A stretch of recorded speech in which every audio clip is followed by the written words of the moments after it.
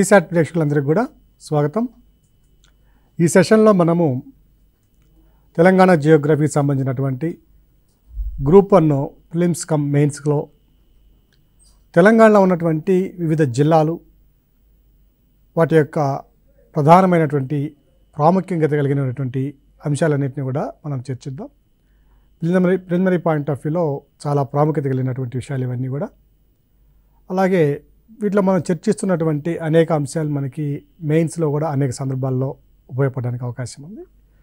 ఇక తెలంగాణ జిల్లాలో ఉన్నటువంటి ఈ జిల్లాలను కనుక మనం పరిశీలించినట్లయితే మొట్టమొదటిసారిగా నిజాం పరిపాలనలో సాలార్జంగ్ వన్ ప్రైమ్ మినిస్టర్గా ఉన్నటువంటి దివాన్గా ఉన్నటువంటి సందర్భంలో పద్దెనిమిది వందల అరవై ఐదులో ప్రారంభించినటువంటి పరిపాలనాపరమైన సంస్కరణలో భాగంగా అప్పట్లో ఉన్నటువంటి హైదరాబాద్ రాష్ట్రం మొత్తాన్ని పదహారు జిల్లాలుగా విభజించడం జరిగింది.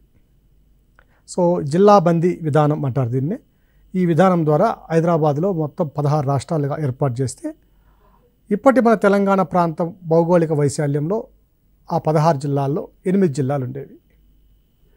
ఇక తరువాత స్వాతంత్రానంతరం హైదరాబాద్ రాష్ట్రము భారత ప్రభుత్వంలో విలీనానంతరం పంతొమ్మిది వందల యాభై మూడులో ఖమ్మం జిల్లాని అలాగే ఆంధ్రప్రదేశ్ ఏర్పడిన తరువాత పంతొమ్మిది వందల డెబ్బై ఎనిమిదిలో రంగారెడ్డి జిల్లాని ఏర్పాటు చేయడం జరిగింది. ఫలితంగా గతంలో ఉన్నటువంటి ఎనిమిది జిల్లాలకు మరో రెండు జిల్లాలు తోడవడంతో పది జిల్లాలకు చేరింది.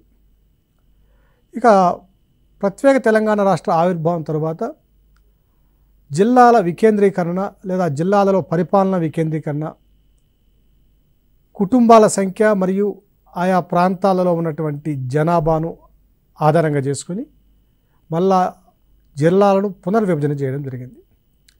ఈ పునర్విభజన చేయడంలో ప్రధాన లక్ష్యము అధికార వికేంద్రీకరణ అలాగే అధికారుల ద్వారా తక్కువ పరిధి గలటువంటి అధికారి పాలిత ప్రాంతంలో ప్రజల యొక్క సమస్యలను సమిష్టిగా తెలుసుకొని వాటి సరైనటువంటి పరిష్కారాలను అలాగే సూక్ష్మ ప్రణాళికలు రూపొందించి రాష్ట్ర సర్వతోముఖాభివృద్ధికి బాటలు వేసేందుకు ఈ జిల్లాల పునర్విభజన చేయడం అనేది జరిగింది. ఇక ఈ జిల్లాల పునర్విభజన తేదీని కనుక మనం పరిశీలించినట్లయితే రెండు వేల పదహారు అక్టోబర్ మాసంలో పదకొండవ తేదీన విజయదశమి నాడు ఈ జిల్లాల పునర్విభజన ప్రక్రియను చేపట్టడం జరిగింది. సో ఈ పునర్విభజనలో పది జిల్లాలను మొత్తం ముప్పై ఒక్క జిల్లాలుగా ఏర్పాటు చేశారు. మరలా రెండు వేల పంతొమ్మిది ఫిబ్రవరి పదిహేనున మరికొన్ని భౌగోళిక అంశాలను దృష్టిలో ఉంచుకొని ఆర్థిక అంశాలను దృష్టిలో ఉంచుకొని మహబూబ్నగర్ జిల్లా నుంచి నారాయణపేట జిల్లాను వేరు చేయడం జరిగింది. అలాగే జయశంకర్ భూపాల్పల్లి జిల్లా నుంచి ములుగు ప్రాంతాన్ని వేరు చేసి మరో రెండు జిల్లాలను అదనంగా చేర్చడంతో రెండు వేల పంతొమ్మిది ఫిబ్రవరి పదిహేను నాటికి మొత్తం జిల్లాల సంఖ్య ముప్పై మూడు చేరడం జరిగింది. ఇక జిల్లాల పరంగా తెలంగాణ యొక్క స్థానాన్ని కనుక మనం పరిశీలించినట్లయితే దేశంలో అత్యధికంగా జిల్లాలు కలిగినటువంటి రాష్ట్రం ఉత్తరప్రదేశ్ ఇందులో డెబ్బై ఐదు జిల్లాలు ఉంటే తెలంగాణ రాష్ట్రంలో ముప్పై మూడు జిల్లాలుండి జిల్లాల పరంగా తెలంగాణ రాష్ట్రం దేశంలో తొమ్మిదవ స్థానంలో ఉంది. ఇక జ సగటు జనాభాని కనుక మనం పరిశీలించినట్లయితే పునర్విభజనకు ముందు రాష్ట్రంలో ఉన్నటువంటి ప్రతి జిల్లాలో సగటున ముప్పై ఐదు లక్షల జనాభా వరకు ఉంటే ఈ సగటు జనాభా పరంగా జిల్లాల స్థానంలో దేశంలో మూడో స్థానంలో ఉండేది. అంటే ప్రతి జిల్లాకు ఉన్నటువంటి సగటు జనాభాని ప్రాతిపదికగా తీసుకొని ర్యాంకింగ్ ఇచ్చినట్లయితే సగటు జనాభా ఆధారంగా విభజనకు ముందు రాష్ట్రంలో ఉన్నటువంటి ప్రతి జిల్లాలో ముప్పై ఐదు లక్షల జనాభా ఉండి పదకొండో స్థానం మూడో స్థానంలో ఉండింది. ఇక సగటు విభజన జనాభాను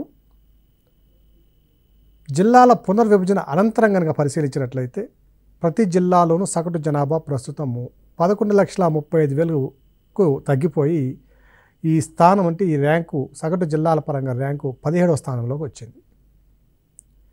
ఇక పునర్విభజన అనంతరము రాష్ట్రంలో ఉన్నటువంటి అన్ని జిల్లాలను పరిశీలన తీసుకొని సగటు వైశాల్యాన్ని కనుక లెక్కగట్టినట్లయితే జిల్లా సగటు వైశాల్యము మూడు వేల నూట అరవై ఐదు చదరపు కిలోమీటర్లుగా ఉండి ఈ సగటు వైశాల్యపరంగా జిల్లాలను కనుక పరి పరిగణలో తీసుకుంటే దేశంలో జాతీయ స్థాయిలో తెలంగాణ స్థానం పదిహేనో స్థానానికి చేరింది.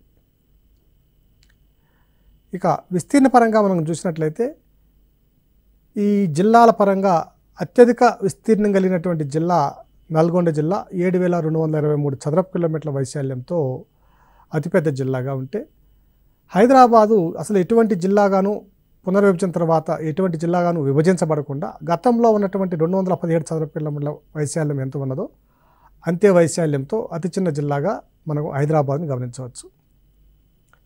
ఇక జనాభా పరంగా కానీ మనం చూసినట్లయితే దాదాపుగా ముప్పై తొమ్మిది లక్షల నలభై మూడు వేల జనాభాతో హైదరాబాద్ జిల్లా అత్యంత జనసాంద్రత మరియు అధిక జనాభా కలిగిన జిల్లాగా గుర్తింపు పొందితే చివరిన ఏర్పడినటువంటి ములుగు జిల్లా కేవలం రెండు లక్షల తొంభై నాలుగు వేల జనాభాతో అతి చిన్న జనాభా కలిగినటువంటి జిల్లాగా ఉంది.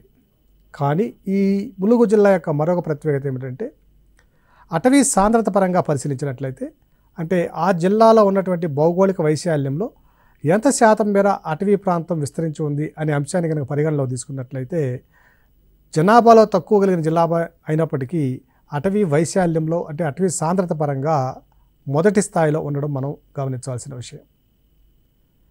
ఇక విభజన ప్రక్రియలో ఈ డిస్ట్రిక్ట్స్ రీఆర్గనైజేషన్లో అత్యధికంగా ఏ జిల్లాను ఎన్ని జిల్లా అంటే అధికంగా జిల్లాలుగా విభజించిన అంశాన్ని మనం పరిశీలించినట్లయితే మనము వరంగల్ జిల్లా అత్యధికంగా ఆరు జిల్లాలుగా విభజించబడింది. ఇక హైదరాబాదు ఇటువంటి జిల్లాగా విభజించబడలేదనే విషయాన్ని ఇప్పుడే మనం పరిశీలించాం. ఇక రాష్ట్రంలో ఉన్నటువంటి పరిపాలన విభాగాలను కనుక మనం పరిశీలించినట్లయితే దీంట్లో మున్సిపాలిటీలు రెవెన్యూ డివిజన్లు అధికంగా ఉన్నటువంటి జిల్లా కనుక చూసినట్లయితే ఏడు మున్సిపాలిటీలు మరియు ఐదు రెవెన్యూ డివిజన్లతో రంగారెడ్డి జిల్లా మొదటి స్థానంలో ఉంది. ఇక రాష్ట్ర వ్యాప్తంగా ఉన్నటువంటి రెవెన్యూ డివిజన్లు అలాగే మున్సిపల్ కార్పొరేషన్లో తదితర అంశాలను కనుక మనం పరిశీలించినట్లయితే మనకి అత్యధికంగా రాష్ట్రంలో డెబ్బై నాలుగు రెవెన్యూ రెవెన్యూ డివిజన్లు ఉన్నాయి. సో ఈ రెవెన్యూ డివిజన్లు కనుక మనం పరిశీలించినట్లయితే అత్యధికంగా ఉన్నటువంటి రెవెన్యూ డివిజన్లు కలిగిన జిల్లా మనము మనకి రంగారెడ్డి జిల్లా అనే అంశాన్ని మరొకసారి గుర్తుంచుకోవాలి. ఇక మొత్తం మున్సిపల్ కార్పొరేషన్స్ సంఖ్య చూస్తే పదమూడు మున్సిపల్ కార్పొరేషన్లు అంటే మున్సిపాలిటీల సంఖ్య నూట ఇరవై ఎనిమిది ఉన్నాయి. అలాగే మొత్తం గ్రామ పంచాయతీల సంఖ్య కనుక మనం చూసినట్లయితే పన్నెండు వేల ఏడు వందల యాభై ఒకటి గ్రామ పంచాయతీలు ఉన్నాయి. ఈ గ్రామ పంచాయతీలు అధికంగా ఉన్నటువంటి జిల్లాని కనుక మనం పరిశీలించినట్లయితే నల్గొండ జిల్లాలో అత్యధికంగా ఏడు వందల ఎనిమిది వందల నలభై నాలుగు గ్రామ పంచాయతీలు ఉన్నాయి. ఇక తక్కువ గ్రామ పంచాయతీలు కలిగినటువంటి జిల్లాని కనుక మనం చూసినట్లయితే మేడ్చల్ జిల్లా అరవై ఒక గ్రామ పంచాయతీలు ఉంటే ఇక రాష్ట్రం మొత్తం మీద ఉన్నటువంటి మొత్తం మండలాల సంఖ్య ఐదు వందల తొంభై ఒకటి ఉన్నాయి.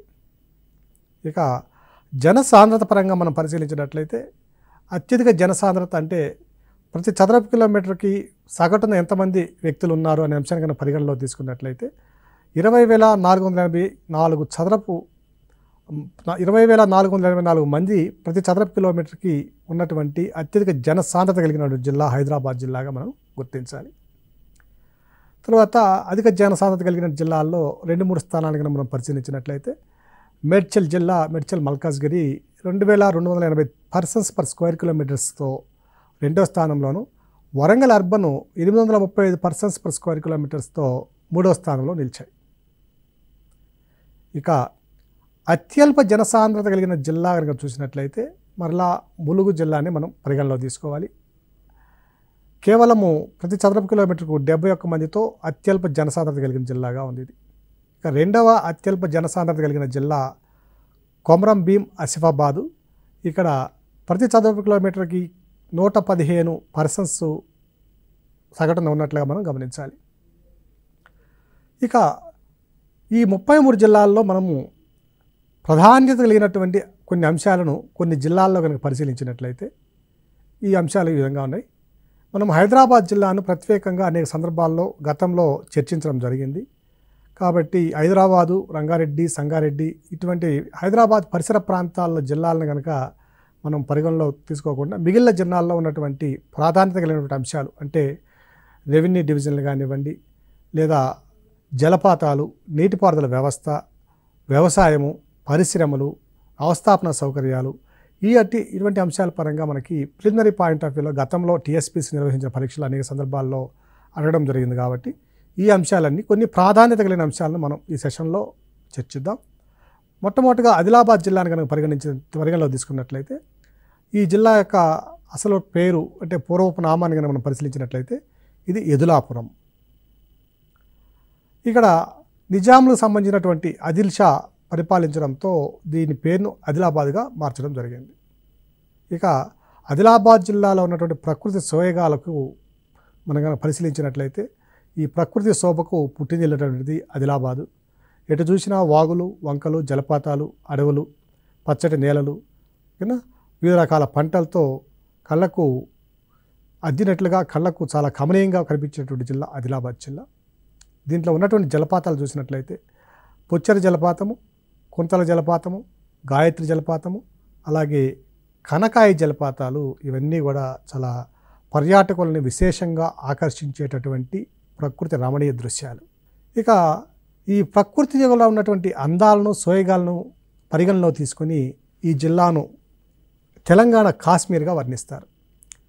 ఇక ఈ జిల్లాలో ఉన్నటువంటి మరొక ప్రధానమైన అంశాన్ని కనుక మనం పరిశీలించినట్లయితే ఇక్కడ నాగోబా జాతర అనేది చాలా ప్రసిద్ధమైనటువంటి జాతర. ఇది గిరిజన ప్రజలైనటువంటి గోండు తెగ ప్రజలు నిర్వహించేటటువంటి జాతర నాగోబా జాతర.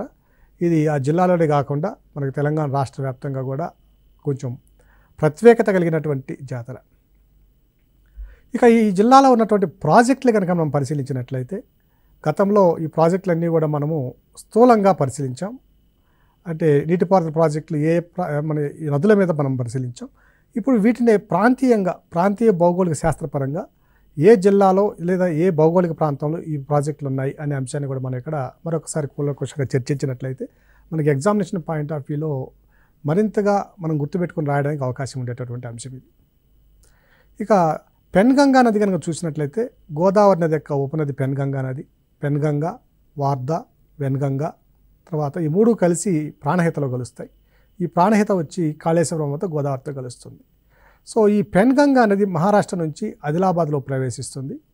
సో ఈ ప్రవేశించినప్పుడు ఈ ఉమ్మడి ప్రాజెక్ట్ ఉన్నది దీని మీద దీన్ని కొరాటా చనాకా బ్యారేజ్ అంటాం.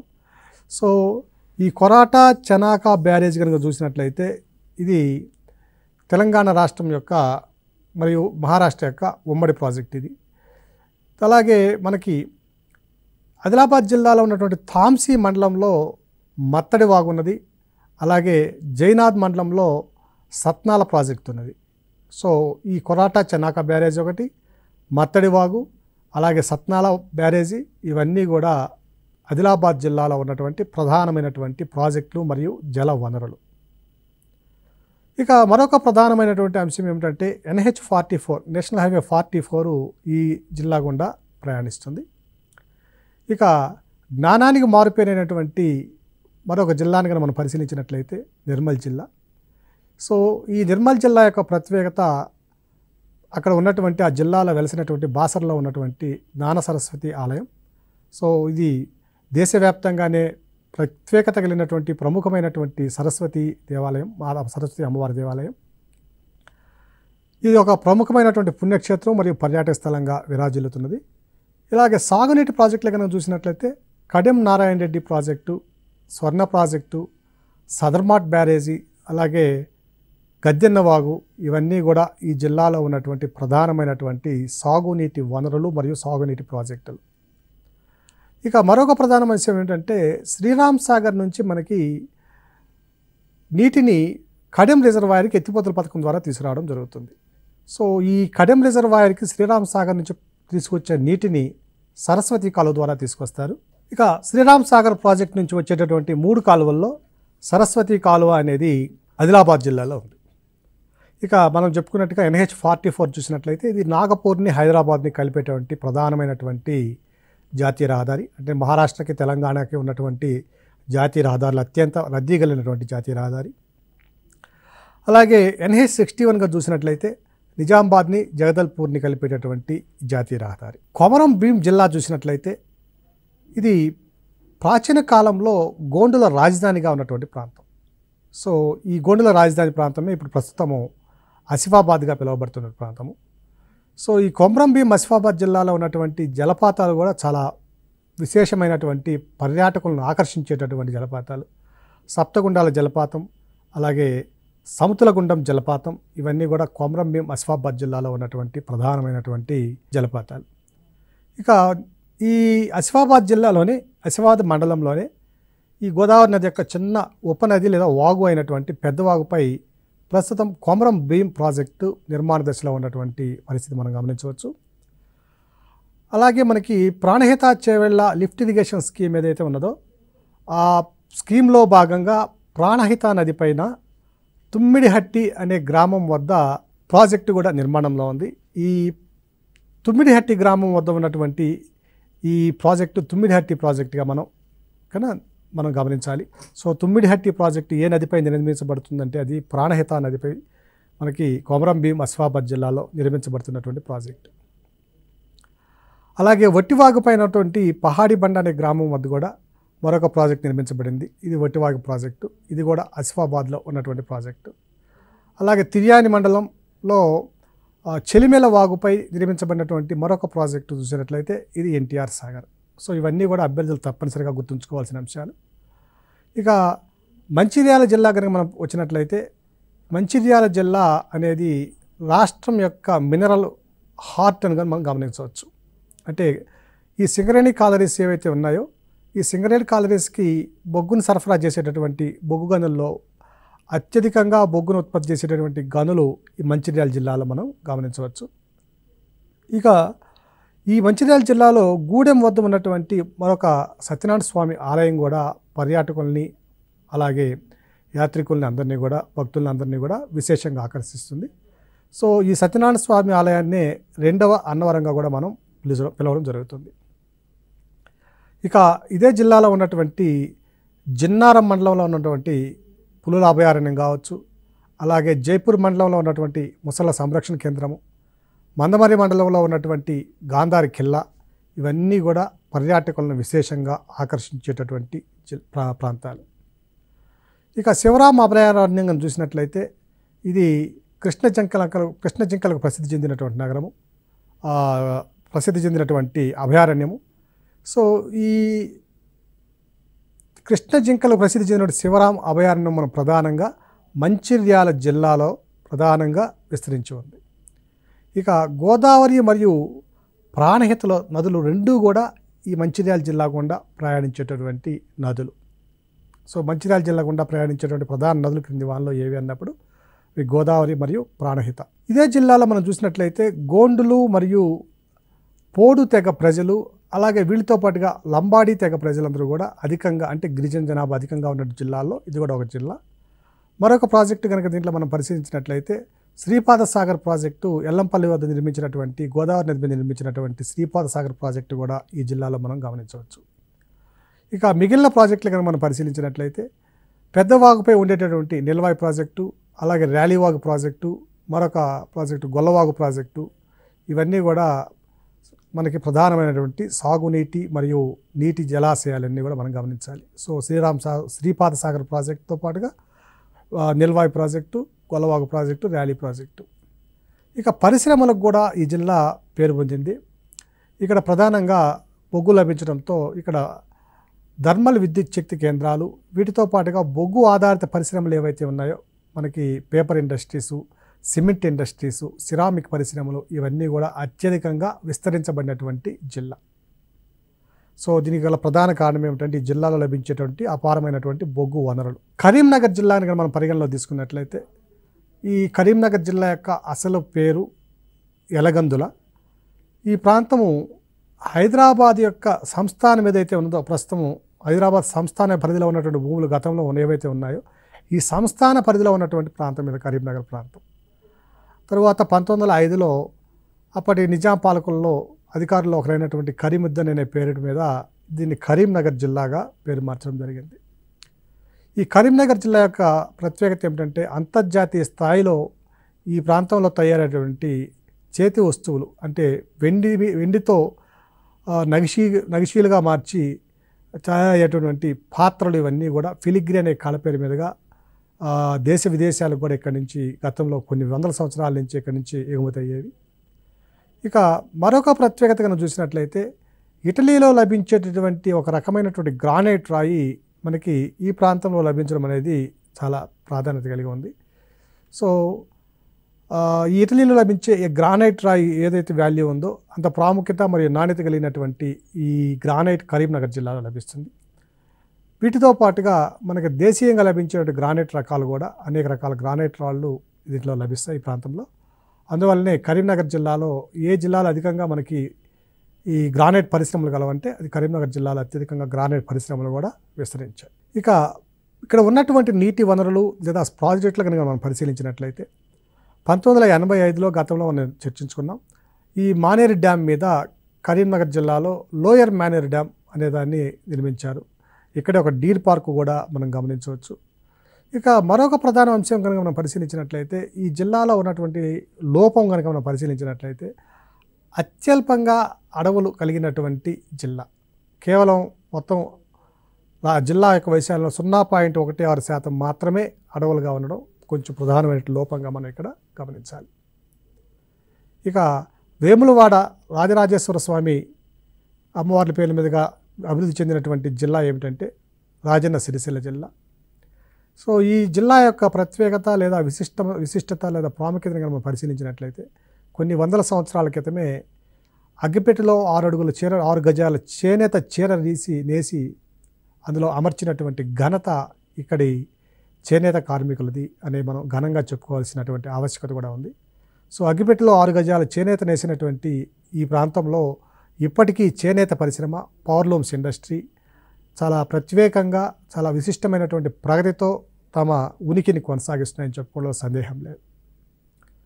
ఇక ఈ జిల్లాలో ఉన్నటువంటి మరొక ప్రధానమైనటువంటి వాతావరణంలో ఉన్నటువంటి లోపాన్ని కనుక మనం పరిశీలించినట్లయితే రాజన్న సరిశీల జిల్లాలో వర్షపాతంలో విచ్చలనం అనేది ఎక్కువగా ఉంటుంది. సో అంటే ఒక ప్రాంతంలో వర్షపాతం రావచ్చు మరొక ప్రాంతంలో రాకపోవచ్చు. అలాగే ఒక సంవత్సరంలో వచ్చిన వర్షపాతం మరలా రెండవ సంవత్సరం మూడవ సంవత్సరం కంటిన్యూగా అదే వస్తుందనేది మనకి గ్యారంటీ లేనటువంటి జిల్లా.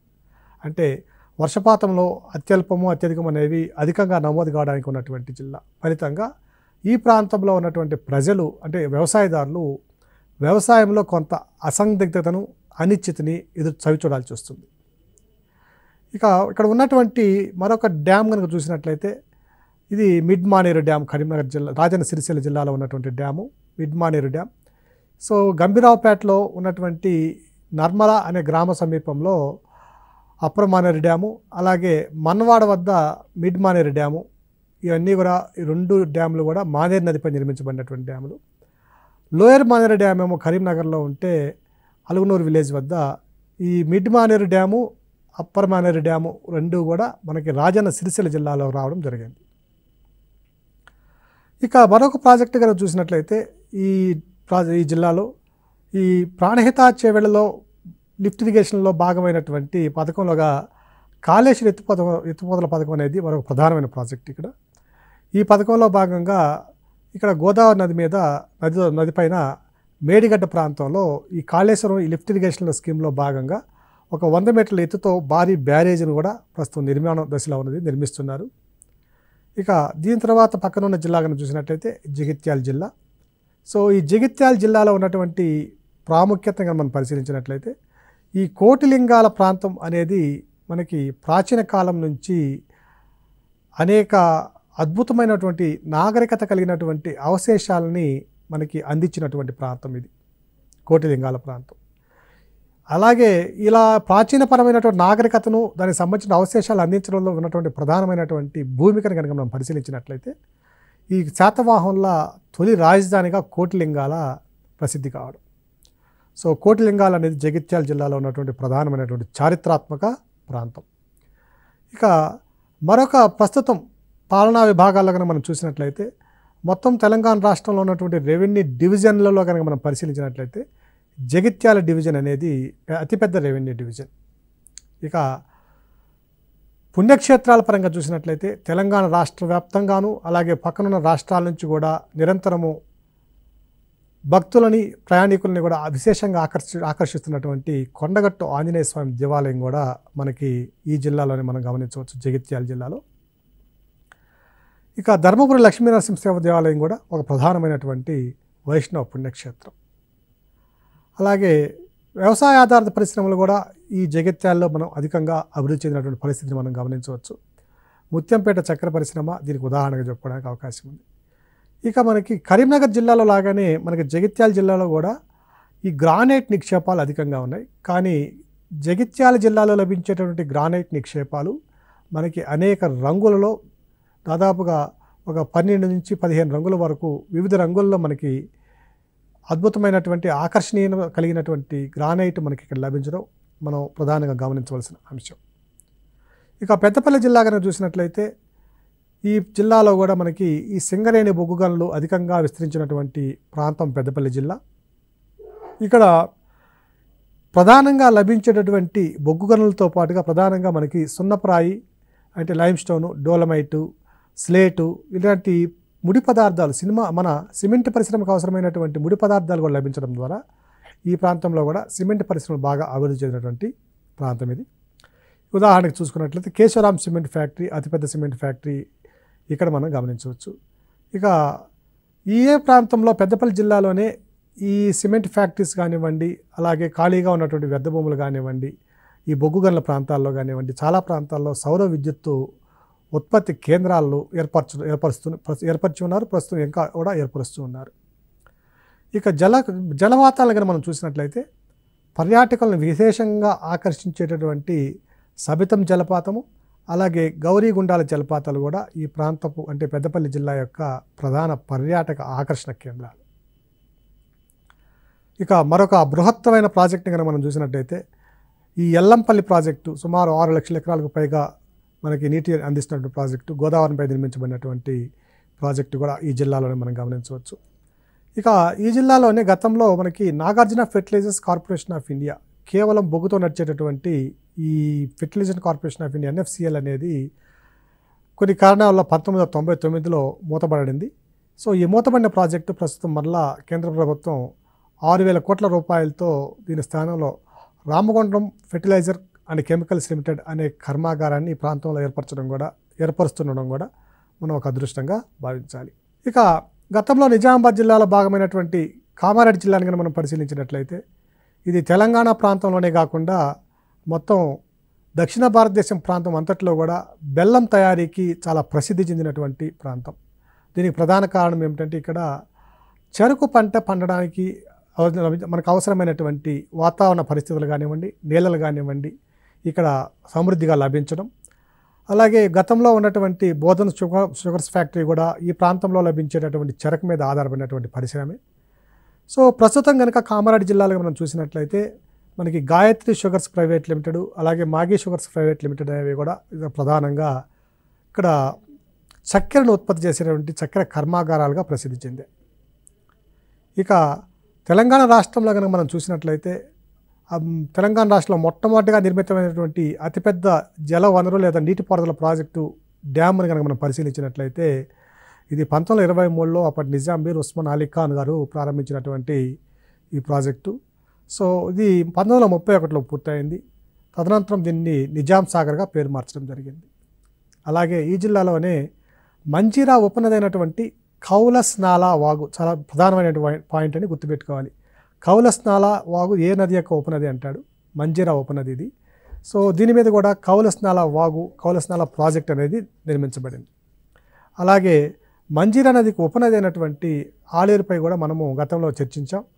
ఇక్కడ పోచారం ప్రాజెక్ట్ ఉండడం కూడా ఒక ప్రత్యేకత. దీంతో పాటుగా ఈ పోచారం ప్రాజెక్టు పరిధిలోనే మనకి పోచారం అభయారణ్యం ఉండడం కూడా మరొక ప్రత్యేకత. సో ఇవన్నీ కూడా తెలంగాణలో ఉన్నటువంటి వివిధ జిల్లాల యొక్క ప్రాముఖ్యతలు. సో ఈ జిల్లాలతో పాటు మరికొన్ని జిల్లాల యొక్క ప్రాముఖ్యతలను మరో సెషన్లో మనం చర్చించుకుందాం. అందరికీ కూడా ధన్యవాదాలు.